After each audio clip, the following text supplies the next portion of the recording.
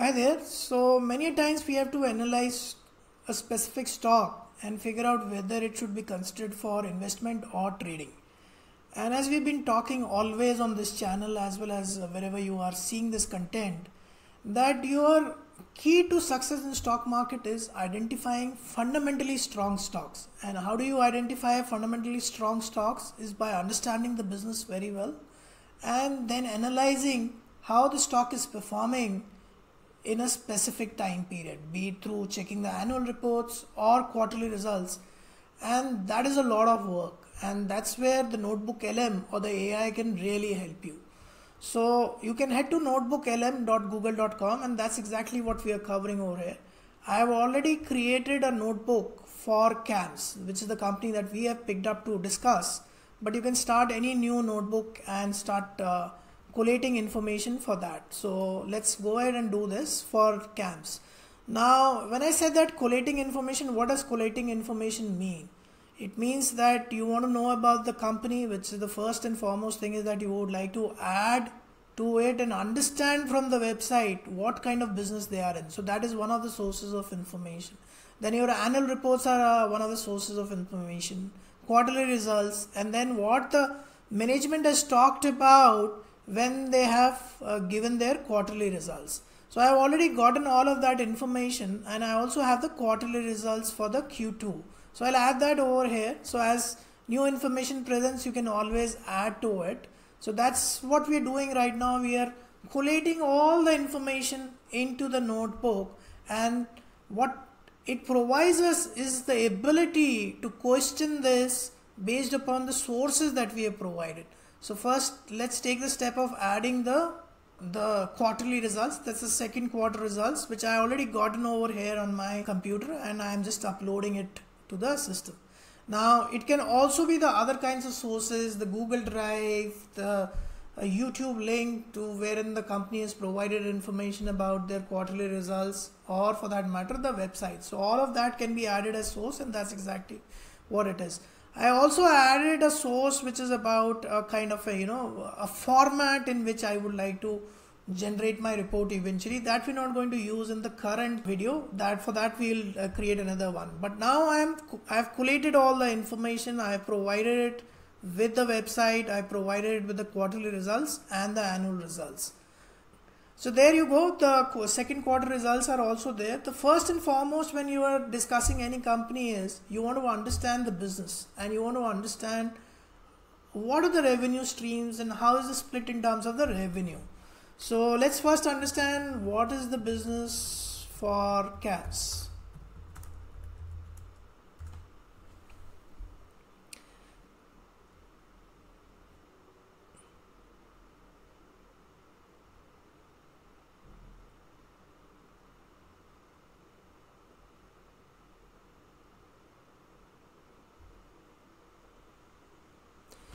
There you go. Based upon all the information that's available in this notebook it has tried answering for me this particular question which is a very pertinent one that what is the business? Because i might be seeing this particular stock for the first time.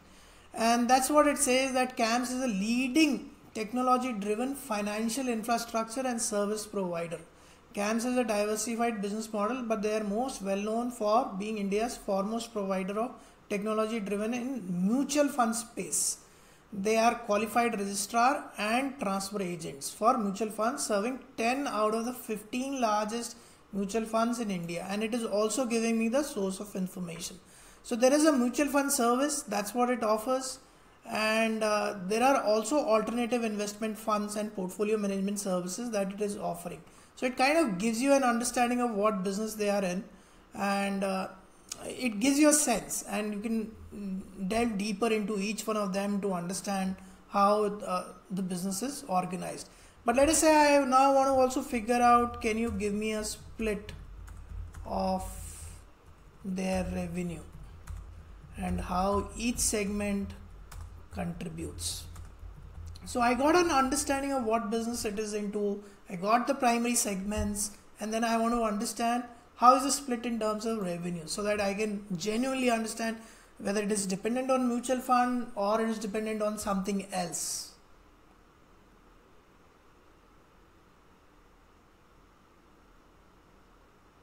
So based upon uh, what is available, it again kind of brings me this information and it is within this particular document. Whatever are the sources, whatever information is coming is based upon whatever is available in this document in case it has to go out of the scope it will always tell you that yes so mutual fund revenue continues to be the primary source of for CAMS.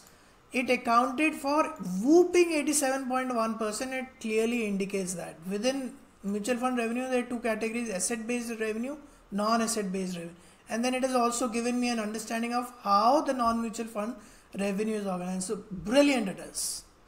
Now it also gives me a because it's based upon quarterly and uh, given it both the quarters it has given me an indicator that okay this is how the split is looking as good as it can get for that matter. So that's wonderful. I understand that it's mutual fund and non-mutual fund primary being the mutual fund which is 87% and it is given me that understanding. Now let's say that i want to just see whether the company is growing or not and i want it to give it to me in a tabular format so that i can easily co- consume that. So can you give me important indicators quarter on quarter and annual in a tabular format to give me an understanding of growth? So i have understood the business. I want to figure out whether it is growing or not so that's an obvious question and i give it to the system again